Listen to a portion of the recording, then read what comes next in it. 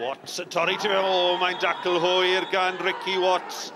Ebers yn amgylchynu yr amddiffynwr. A mae'n gerdyn coch! O, drama yma ar ddôl y bont.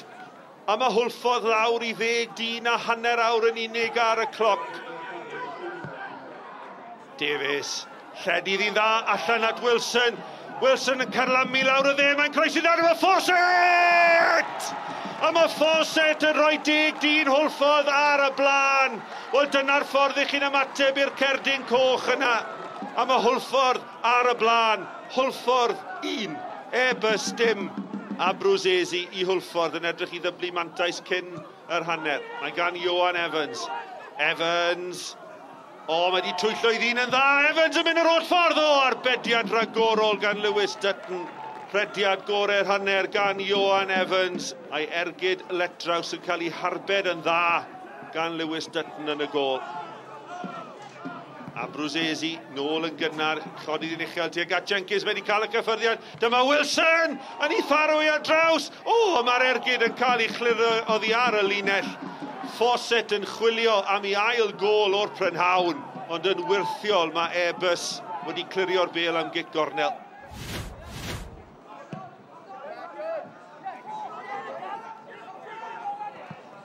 Gareth Edwards yn gadael y beli. Adlami! Mae'n arbediad da! Ond yna mae Johan Evans yn dyblu mantais Hwlffordd. Mae'n sgorio am yr ail ddisadwn yn olynol. A nawr, mae'n ole dydd rhwng Hwlffordd ac Ebys. Hwlffordd dwy, Ebys dim. Fawcett at Hawkins. Hawkins, pas dda i ryddhau Wilson. Wilson yn torri tu fewn, a'r bas ymlaen at Fawcett. Fawcett yn glir! A mae Edwards yn ei dynnu fe lawr, a mae'r cerdyn coch allan yn barod. A diwedd prynhawn i Gareth Edwards. Wel, i gamgymeriad yn arwain at yr ail gol, a nawr cerdyn coch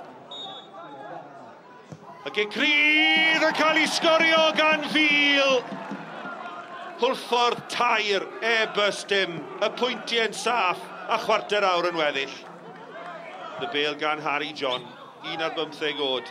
John yn bwydo Wilson. Os na bedwaredd fan hyn i Hwlffordd, maen y chwarae pêl drod pert. Mae gan Lehi. Lehi! Reit ar draws wyneb y gol! Ac mae na bedwaredd gol iddyn nhw. A Dan Hawkins, y gŵr newydd sydd wedi ymuno o Shelbourne sydd wedi chael hi. Croesiad hyfryd o'r dde gan le hi.